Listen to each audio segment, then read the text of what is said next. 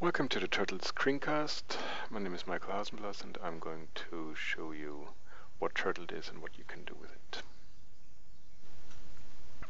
Okay, there we go.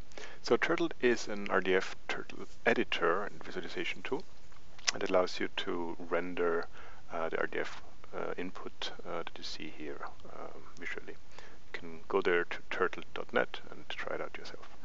Let's visualize the example here, very simple one um, with uh, a resource there and uh, a literal.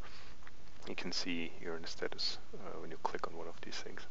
And you can switch uh, to a more explicit labeling of the nodes uh, in the right upper corner.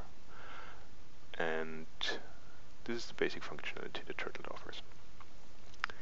Now let's have a look at um, the stats up here tells you how many triples and entities and types are uh, in the input you've provided and um, so you can uh, always get a rough idea of, of what your graph consists.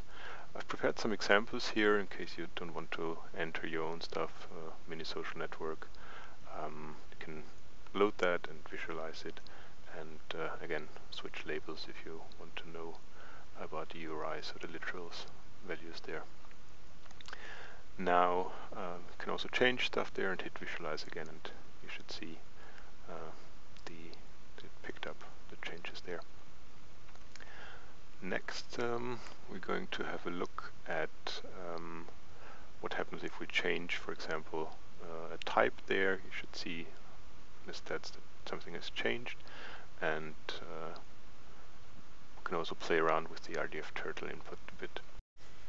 Okay, so let's assume we have made some changes uh, there. So you want to make sure that you can you know, save that, uh, the changes you did, and just hit the save button and provide a label there, uh, something meaningful you can remember, and it's uh, stored locally on your browser and serves the session. It's uh, using web storage, and you can at any point in time up to 10 of these uh, entries you can save there and uh, whenever you want get them back. By just clicking on them and yeah if you get, want to get rid of that you just say delete and off it goes. Okay now you can also restrict uh, the input. Um, what is rendered? So let's take an example the authorship uh, so some person claiming being the author of, of uh, an article and um, you might only be interested, uh, for example, in the person. Uh, let's play around a bit with the graph. Uh, for example, remove the connection between the person and the article, we should see that uh, in the visualization. Uh, yeah, looks like. And uh, now let's restrict the input, the turtle input a bit using SPARQL construct query, essentially uh, focusing only on the person there. Uh, so essentially saying, okay, that URI hash uh, m and all the properties and objects that belong to that resource identified through example org hash m. And if you now hit visualize, the SPARQL construct query is applied, and you will only see um, uh, the literals and uh, resources that belong to that um, yeah, selection to that restriction. Um, the outcome of the construct query. Remember, uh, you will only see it when the restrict uh, SPARQL construct query is visible. So if you uh, minimize that, uh, you won't see that anymore because it renders the entire input.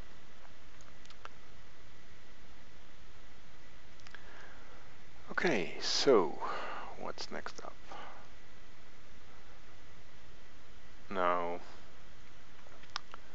play around with the uh, visualization uh, and of course you might want to reuse that stuff somewhere in the documentation then you hit export SVG and just copy paste that into a document and you can use it standalone uh, for any kind of documentation you want to produce based on your endeavors here.